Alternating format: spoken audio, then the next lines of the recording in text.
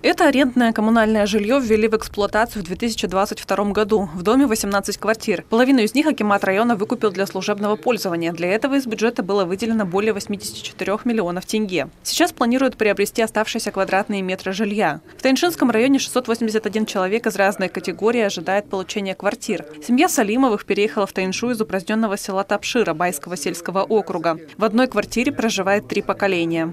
У нас здесь на первом этаже административный блок.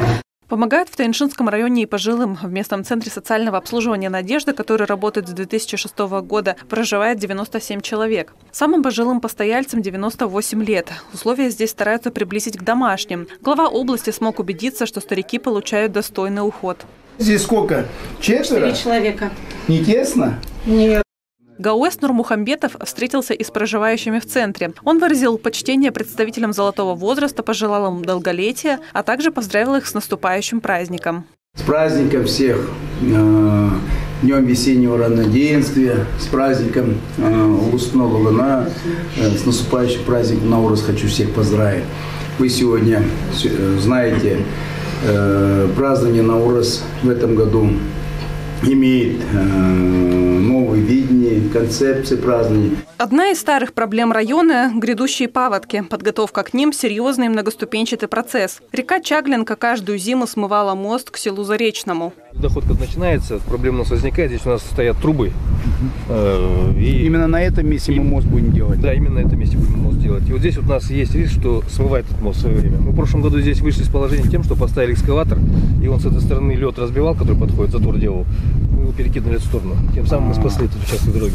Ремонт должен решить эту проблему, говорит подрядчик. В планах установить железобетонные фундаментные трубы большого диаметра. Работы начнутся в июне и продолжатся три месяца. Бюджет составил более 318 миллионов тенге. Способность будет 90 кубометров в секунду угу. данного сооружения. А просчитывали, хватит вот этого сооружения, чтобы воду пропускать? Да, получается максимальный сброс воды идет 83 кубометра в секунду. Угу. Максимально это просчитывали, да? Да. А вот эти дюбинги здесь три и одна будет, да? Да. Они по... одинакового размера. 3 и 2. Да, размера 4. А, там два будет. Да, там два, тут три. Размерами 4 на 2,5 метра. Гаос Нурмухамбетов оценил готовность специалистов и техники к паводку. Все должны работать слаженно, чтобы оказать помощь не только своему району, но и соседним. Письмо написали по ЧСУ. Сейчас проведем комиссию и будем э, писать письмо на имя министра чрезвычайных ситуаций. Сейчас отопительный сезон закончится, чтобы мы в этом направлении закрыли. Хорошо. Техника имеете в виду? Естественно. Чтобы не получилось у него, вот знаешь, не получилось. Я это все проходил. Вот, завтра у него техники не будет, завтра у него ЧС не будет. Тасмагомбету не получилось, скажет, такое, что не получилось. Вот, э, вас тоже хочу попросить, вот на контроле держите. Не будет ничего с областного бюджета будем давать, имейте в виду. Сразу предупреждаю. Вот в том направлении мы должны технику на следующую зиму должна обеспечить. И она должна находиться в Алиханском районе. Полиция занимается не только охраной общественного порядка, но и оповещает население. При необходимости может оказать помощь. Немаловажно и оперативно восстановить электричество в случае ЧС. Готовность к паводку – ответственность каждого. Об этом ГАУС Нурмухамбетов напомнил на кустовом совещании, которое стало финальным мероприятием в посещении Таиншинского района. Посещение Таиншинского района ГАОС Нурмухамбетов начал с осмотра Драгомировской средней школы. Здание построили в 1968 году, а в 2021 его признали аварийным. В целях безопасности к началу третьей четверти 128 учащихся школы временно перевели в другое здание. Они поделали, чтобы они две смены смогли учиться. Конечно, это временное решение вот до момента, когда построят. В школе, которой уже больше полувека, есть проблемы с кровлей, идут трещины по стенам. На строительство нового здания выделено 1,2 миллиарда тенге. Проект готов, это конкурс уже проведен, компания есть подрядная. А какой подрядчик? Кто? Зертел. А ну, отлично, хоть Зертел вышло, это же наша компания. Новое здание появится на территории существующей школы. К возведению подрядчик приступит уже через неделю. По заверениям компании, строительство займет всего пять месяцев. Старую постройку было решено пока оставить, но администрация планирует позже заняться ее сносом. Пока здесь заняты будущими объектами. Опорная башня, э, котельня, котельня, футбольное поле и уличные тренажеры. Она будет размещена э, лицом выше. На заводе Кукще-строй в Тайнше почти 11 лет производят трубы из полиэтилена для газа и воды, стальные трубы для тепловых сетей. Сырье для производства закупают в Новосибирске и Казани. жатыр Эти трубы поставляем в Шантобе. Вот эта труба предназначена для водопровода. Гарантия на нее 5 лет, срок службы 50 лет. Вот эта голубая полоска означает, что труба предназначена для воды, желтая для газа. Еще мы делаем трубы для канализации и под кабель. ТОО «Кокшевстрой» также производит ПВХ окна и двери. В компании трудится 50 человек. Средняя заработная плата – 300 тысяч тенге. Гаус Нурмухамбетов также посетил районную больницу. Здесь обслуживают почти 40 тысяч человек. Поликлиника рассчитана на 400 посещений, а в стационаре 120 коек. В районе есть 5 врачебных амбулаторий, 4 ФАПа и 54 медпункта. Но за более серьезной медицинской помощью жители едут в многопрофильную межрайонную больницу. 62 врача у нас работает по району, 283 средних медработников. В 2023 году 9 врачей прибыло. Дефицит кадров 10 врачей, но из них мы уже анестезиолога-реаниматолога сейчас ждем с Западно-Казахстанской области. Из-за наших подъемных, в принципе, готов доктор переехать. Э, Врача-онколога мы уже приняли на работу на той неделе. Э, Врач-отоларинголог, у нас 4 хирурга сегодня в штате. Одного из них отправим на учебу, он вернется, будет врачом-отоларингологом.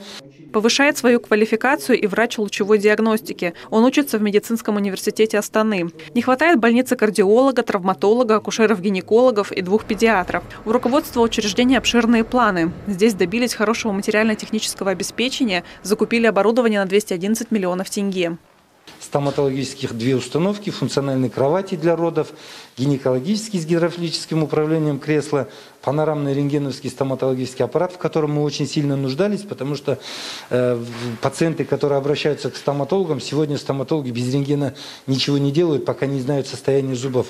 Э, мы его установили уже, запустили. В больнице 87% нового оборудования. Благодаря ежегодному финансированию сотрудники смогли отказаться от обслуживания посторонними компаниями, и полный спектр обследований проводит самостоятельно. Какие виды исследований нужны? Доктора сегодня, не направляя пациентов ни в Кокшетау, ни в Петропавловск, э, могут проходить здесь. Гаос Нурмухамбетов познакомился с молодыми специалистами и пожелал им успехов в их нелегком труде. Также глава области выразил надежду, что благодаря государственной поддержке новые кадры пожелают остаться в регионе. Как уже, наверное, ваш э, руководитель сказал, на один, одна из тех областей, которые сегодня хорошую сумму пособий платят, одну из высоких. Поэтому самое главное, конечно, чтобы люди приезжали, молодежь обзаводилась семьями, оставалась. Для этого надо, конечно, создавать условия. Завершение встречи с медицинскими работниками Гауэс Нурмухамбетов поздравил врачей с наступающим праздником Наурыз.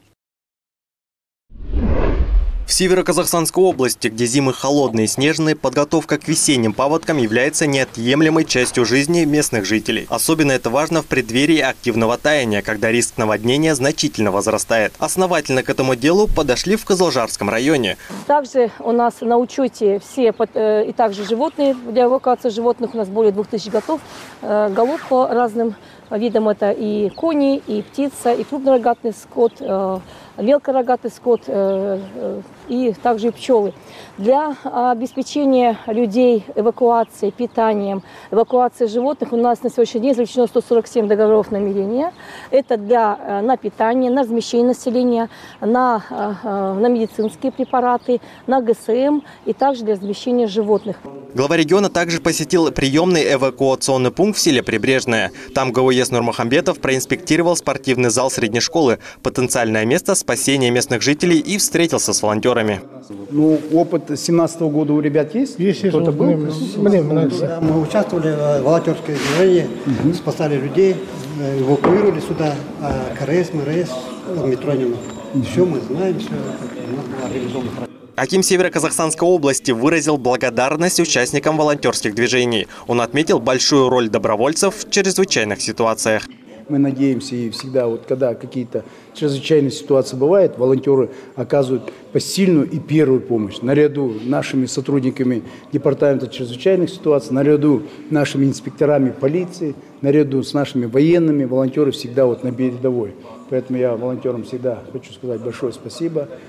Следующая остановка Акима региона в его рабочем визите стала село Тепличное. В этом году для откачки воды районом приобретено 4 новых мотопомпы мощностью от 60 до 350 кубических метров в час. Постоянно вывозится снег, чистятся трубы под дорогами, произведено очернение полей. У нас подготовлено 13 эвакопунктов, а инертный материал порядка 3700 тысяч кубометров.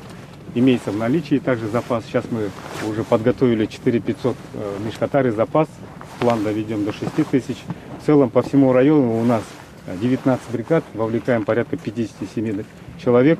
В целях организации всей этой работы у нас 165 единиц техники.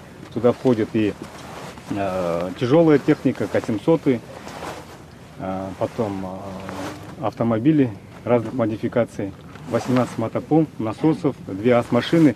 Аким области сделал замечание местным властям. Он поставил задачу приложить больше усилий в подготовке к паводковому сезону. Сколько мешкотара было в прошлом году затарено? 16 тысяч штук. Вот, Это- 16 да, тысяч штук. 16 тысяч а мы сегодня хотим 6 тысяч и на этом обойтись. 16 тысяч я ставлю вам задачу, чтобы было, как минимум. А в 2017 году сколько использовали? порядка 28 тысяч. Более 70 тысяч. Более 70 тысяч. А что такое 6 тысяч? Паводок через 10 дней начнется. Вы как хотите на 6 тысяч ободить? Глава региона узнала состояние транспорта, используемого во время паводков. Также он поручил взять на контроль этот вопрос. У нас порядка Ас-машин, 10 ас-машин 10 машин есть. э, в самом Бишкуле. Потом Ну, надо будет посмотреть, я прошу вас, ревизию сделайте по АС-машинам, которые сегодня, знаете, вот топливо возят. Такие, может быть, пригодятся. Надо будет на контроле держать. В областном центре насчитывается 109 километров сети ливневой канализации открытого типа. Из них осталось прочистить 11,5 километров. Также в городе есть 113 адресов, находящихся в зоне риска. В основном это дома в низине. Э, По подготовку к паводку задействованы сейчас у нас, получается, аварийные мастерские, э, экскаваторы, колесные экскаваторы, погрузчики, погрузчики, тракторы с куном, с барой установкой, КАМАЗы, самосвалы. Получается спецтех, спецтехники 36 единиц. Паровая установка передвижная, каналы промывочные, э, э, машины на базе КАМАЗ. Также у нас откачивающая техника на данный момент это 7 единиц, 2 лососа, ассенизаторская машина. Э, На конкурс выставили еще 15 единиц. Следующим этапом рабочей поездки главы региона стало совещание в Козлжарском районном Акимате. В нем приняли участие Акима Исильского, Мамлютского, Жамбылского, района Макжана Жумабаева и глава Петропавловска. С докладом о прогнозируемой погодной обстановке выступила директор филиала Казгидромет. На 10 марта запас воды в снежном покрове на севере области составляет 86 э, 141 миллиметра, что превышает норму и значение 2023 года на 18-80%, местами до двух раз. Глубина промерзания на сегодня составляет от 48 до 148 сантиметров, что в среднем меньше прошлогодних значений на 28 сантиметров. Для Исильского Козлжарского района наибольшую угрозу представляет половодье на реке Исиль. По словам специалиста, по реке Исиль в приток в Сергеевское водохранилище объемы влагозапасов выше среднемноголетнего значения на 66%. Прогнозируется начало подъема уровня воды на малых реках в области в начале апреля. На реке Исиль в Северо-Казахстанской области ожидается начало подъема уровня воды за счет местного стока к 3-6 числу следующего месяца. Развитие паводка зависит от погоды. Прогноз прокомментировал Аким области. По прогнозу э, Казгидромета вы видите, что сегодня за март месяц нас Казгидромет, ну он не то что устраивает, это сегодня, будем говорить так, надеяться надо и полностью готовиться паводку, но все мероприятия принять и предпринять меры для минимизации последствий паводка, прохождения паводка, поэтому все мероприятия надо э, в усиленном режиме проводить. Вот. Но что касается, конечно, прогноза, то, что в течение светового дня, в течение марта месяца будет все-таки плюсовая положительная температура и ночью будет вымерзать, э, это только на пользу, я думаю, и Акимам районов, и нашему населению. Руководитель департамента по чрезвычайным ситуациям рассказал о работе районной администрации в преддверии сезонных явлений. Акимату Мамлютского района было сделано замечание за непроведение в летний-осенний период мероприятий по подготовке к предстоящему паводку. Не проведена работа по обновлению и укреплению защитного земляного оболования протяженностью полтора э, километров в городе Мамлютка, что в свою очередь может повлиять на безопасное прохождение паводка. В текущем году во исполнение вышеуказанного мероприятия Акимата Мамлютского района денежные средства предусмотрены. Вместе с тем необходимо принять все необходимые меры по недопущению подтопления жилых домов на данном участке. Хот- Хотелось бы обратить на это внимание. Высота снежного покрова в Мамлютском районе составляет 37 сантиметров, что выше на 10 сантиметров, чем в 2023 году, но меньше на 9 сантиметров, чем в 2016 году. Тогда был зафиксирован больший уровень подъема воды. В паводковой зоне находится райцентр, город Мамлютка. А, проведено обследование подсобных хозяйств, значит, переписано количество а, значит, голов скота для того, чтобы значит, принять меры к, значит, в случае эвакуации. В красной зоне в городе Мамлютка находится 6 домов, э, проживает 13 человек. Домашнего хозяйства и скота значит, э, у этих э, домов и значит, домохозяйств не имеется. В целях безопасного проведения весеннего паводка разработан и утвержден план основных мероприятий. Проведено заседание комиссии по, по чрезвычайным ситуациям. Также Аким области выразил недовольство работой Акимата Жамбылского района, Северо-Казахстанского управления пассажирского транспорта и автодорог за ненадлежащий контроль подготовки к весеннему паводку, некачественной очистки водопропускных труб. Он подчеркнул, что ответственность к встрече периода активного снеготаяния лежит на главах районов. Если сегодня поздно прошли где-то конкурсы, это вы виноваты, как Аким Я что, я вам не говорю, что вы что-то незаконно делали но с, таким, с такой расчисткой дорог мы ожидаем прораны на наших трассах. Снега очень много, поймите. Я вам сказал, любой проран, Акимов предупреждает, любой проран, который будет на трассах, будете персональной ответственности. У нас не так много денег, чтобы сегодня за вами, за вашим головотяпством устранять. Не надо мне ипатовским методом, что вы сутками работая до 10 числа очищаете водопропускные трубы. Вам дана команда до 20 числа очистить и до 20 числа очистите, пожалуйста, так, как должны вы чистить. В завершении беседы Аким региона поручил управление пассажирского транспорта и автомобильных дорог закончить инвентаризацию сил и средств, заключить договоры на аренду тяжелой техники, осуществлять расчистку всех водопропускных труб и каналов. Также поставил задачу обеспечить необходимый запас инертного материала, всего за благовременным размещением в паводкоопасной зоне. Заседание областного акимата началось с назначения. Приказом председателя АО «Казпочта» Сымбат Кудайбергенов назначен директором регионального филиала Северо-Казахстанской области. Ранее он занимал должность заместителя директора Южного информационно-логистического центра филиала «Казпочта».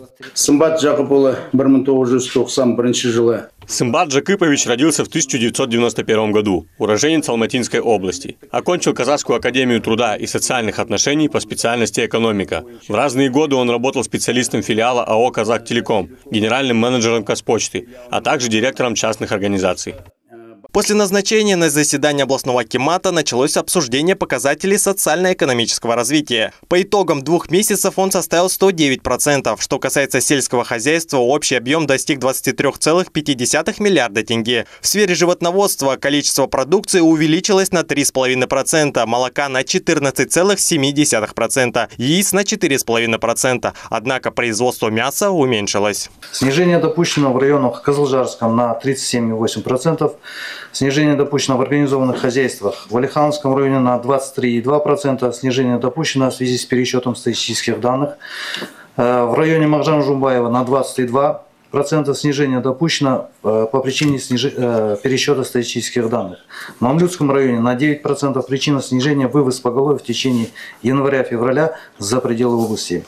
За январь-февраль 2024 года произведено промышленной продукции на 91,7 миллиарда тенге. Петропавловский объем добычи за два месяца составил 59,5 миллиарда тенге, что на 6 миллиардов больше, чем за аналогичный период прошлого года. Что касается показателей в сфере строительства, в этом году сданы в эксплуатацию жилые дома общей площадью около 12 тысяч квадратных метров.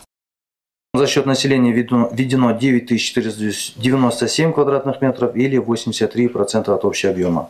Увеличение ввода жилья обеспечено 11 районами, при этом наиболее высокие темпы сложились в районах таких районах, как Мамлютском, Валихановском, Таиншинском, Габитом-Усрепу, Аккаинском, Акжарском, Мажана-Жумабаева, Кызылжарском, Месельском и Тимирязевском районе. Следует отметить, что по итогам двух месяцев текущего года область занимает лидирующие позиции среди регионов республики по исполнению бюджета. 21 миллиард 139 миллионов тенге поступило в местную казну. Это 11,7% от общего плана. В областной бюджет поступило 12 миллиардов 11,4 миллиона тенге или 110,3%. Перевыполнение 1 миллиард 118,6 миллионов тенге. В городской районные бюджеты поступило 9 миллиардов 127,7 миллиона тенге или 113,7% от плана. Перевыполнение сложилось в сумме 1 миллиард 96,4 миллиона тенге. Расходная часть бюджета по состоянию на 1 марта 2024 года исполнена на 99,9%. По итогам января-февраля в регионе наблюдается положительная динамика общего развития. Однако в ряде регионов показатели снизились. Глава региона поручил администраторам бюджетных программ Акимам районов и города Петропавловска взять на особый контроль использования средств. Каждый бюджетный тенге, уважаемые коллеги, должны вкладываться именно в виде, и людьми ощущаться нашими населением, в виде построенных наших дорог, в виде построенных наших школ, в виде построенных наших социальных объектов. Поэтому прошу вопросы по э, взысканию задолженности по э, налогам и пополнению нашей налогооблагаемой базы в виде доходов брать и взять на контроль. Аким отметил, что необходимо совместно с Управлением экономики и финансовым ведомством сформировать перечень проектов для дополнительного финансирования из республиканского и местных бюджетов. Глава региона акцентировал внимание на важность контролирования государственных средств. Первая из пришедших на прием главе области – Кристина Шмидт. Девушка говорит, что после развода с мужем осталась без крыши над головой и с двумя детьми на руках. Жительница Петропавловска стоит на 267 месте в очереди на выдачу жилья, поскольку является сиротой. Аким города Серик Мухамедиев сообщил, что Кристине Шмидт будет предоставлена комната для временного проживания в общежитии. Сегодняшний день очередь сейчас уже, ну просто в портале еще нету сдвига, она сдвинется на 160 человек, детей, э, сирот. И у нас в планах еще 30 квартир в этом году. Мы выдаем детям-сиротам, 28 квартир точнее. И ну, я думаю, что ваша очередь значительно сдвинется, и будем надеяться, что в следующем году получится. Жительница города Татьяна Ковалева пришла на прием к Акиму области с просьбой предоставить здание для детского реабилитационного центра «Мой ребенок». В настоящее время он располагается в одном из подвальных помещений, из-за чего его периодически топит. Приходится постоянно останавливать свою работу. Татьяна Ковалева также сообщила, что многие родители стремятся попасть в частные центры, поскольку в государственных их не устраивает квалификация специалистов. Аким области Гоес Нурмахамбетов поручил руководителям соответствующих ведомств взять на контроль и решить данный вопрос. Прибывший на прием Александр Неклюдов жалуется на затопление своего дома, расположенного по улице Жамабаева. Как говорит житель, вода, поступившая в его дом, перекачивалась собственными силами. Сейчас он вынужден арендовать жилье, так как его прежнее место жительства непригодно для проживания. По его словам, эта ситуация возникла после ремонтных работ дороги новую канализацию сделали, видимо, не подсоединили, что-то пошло не так, но, ну, в общем, вся вода скапливается у нас на, на территории, на другой половине вот этих домов, которые ближе к казахстанской правде. Угу. Теперь любой дождь, э, весной, осенью, теперь там круглые сутки вода. Угу. Я ее выкачивал, не выкачивал, теперь она там стоит просто угу. и никуда не уходит. ГУЕС Нурмахамбетов поручил Акиму города посетить данный дом и решить проблему. Глава региона отметил, что будет держать этот вопрос на своем контроле. Всего на прием к Акиму пришло 6 человек. Вопросы Ернара Рахимжанова, Максина Ищука, Кристины Белых и Людмилы Храминой были доведены до сведения Акима области и глав ведомств. Яркое солнце, свежий воздух, позитивные горожане, настроенные хорошо провести время. В поселке Барки в День национальных видов спорта собрались участники массового лыжного забега на 600 метров. Областной центр принял челлендж от Костанайской области. Мы создаем все необходимые условия для того, чтобы наши земляки от мала до велика могли заниматься различными видами спорта. Строятся новые спортивные объекты – Идет строительство двух физкультурно-оздоровительных комплексов, а также двух крытых хоккейных кортов. В Петропавловске начато возведение центра настольного тенниса на 24 стола. Выделены средства на строительство крытого хоккейного корта в селе Бесколь. Хочу пожелать вам удачи, успехов в делах и получить заряд бодрости и хорошего настроения. Поздравляю с наступающим праздником Наурас Мираме. Участие в массовом лыжном забеге смогли принять профессиональные спортсмены и любители. Всего около 300 человек. Я являюсь тренером по лыжным гонкам, биатлону в городе Петропавловск возле США имени Казбека Байболова. Тренером работаю третий год. На данный момент привез порядка 20 моих детей. Меня учил Думан Маратович, мне очень нравится. Я уже хожу год. Я участвовала во многих соревнованиях, но один раз я получила медаль.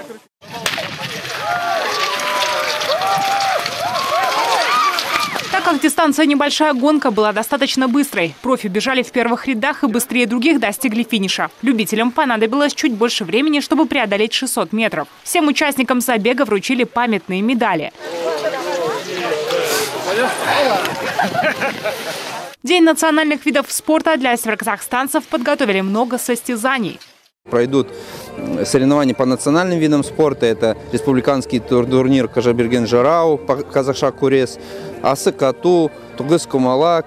Также в планах у нас сегодня э, в село Пресновка Жамбыльского района открыть физкультурно-зрительный комплекс. Там также пройдут соревнования по национальным видам спорта. Скачки в поселке Бесколь Кызылжарского района. 20 марта в Высшем Североказахстанском профессионально-педагогическом колледже прошел чемпионат по национальным видам спорта. На семинаре для фермеров выступили опытные специалисты из Астаны. Во второй день мероприятия участники посетили товарищество Новомихайловское-2003 и ознакомились с составом кормов для крупного рогатого скота. Программа Варбар. Есть программы, которые составляют специальный рацион. Благодаря им мы оцениваем качество кормов в лаборатории. В результате данные передаются механизаторам. Они уже кормят скот два раза в день. Крупнорогатый скот взвешивают раз в месяц и наблюдают темп роста. Если набор составляет составляет 1 килограмм, это хороший показатель. В товариществе Новомихайловская-2003 трудятся более 150 человек. Направление – мясное животноводство. Здесь насчитывается около 700 голов КРС, разводят казахскую белоголовую породу. Утром приезжают на нас механизаторы, два так-то раздаем синаш, потом кормач силы синаш раздаем, дробленку кормач засыпаем полностью. Утром кормим, в обед кормим, Мужики у нас управляются здесь, поят, кормят полностью.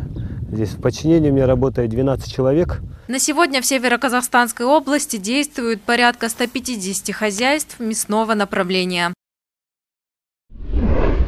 Заркан Тайшибай – известный профессор, который более полувека трудился и внес неизмеримый вклад в образование и науку. На мероприятии представили книги и труды академика. Красную ленту открытия кабинета Заркана Тайшибая, что находится в шестом учебном корпусе, перерезали председатель общественного совета Жараспай Сулейменов и исполняющий обязанности ректора университета Рената Апергенова.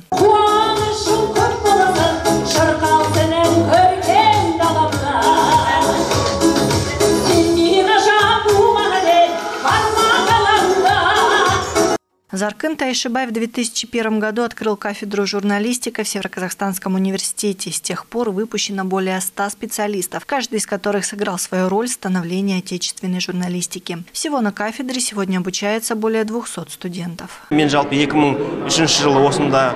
Я поступил в этот университет в 2003 году. В 2007 году закончил. Я третий выпускник университета. Заркан Тайшиба один из первых моих учителей. Мы многому научились у него. Я думаю, что сегодня журналисты региона добиваются успеха. Именно благодаря нашему учителю Заркану Тайшибаю. Он привил нам правильную журналистику, работать на благо общества. Профессор Заркын Тайшибай провел ряд исследований не только в журналистике, но и в области истории и краеведения.